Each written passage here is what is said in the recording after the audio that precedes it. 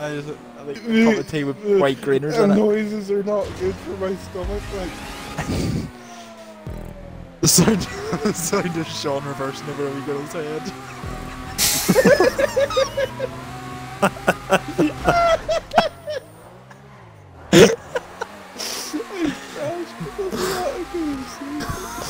Sean's like, oh, I'm gonna be sick. Someone include that.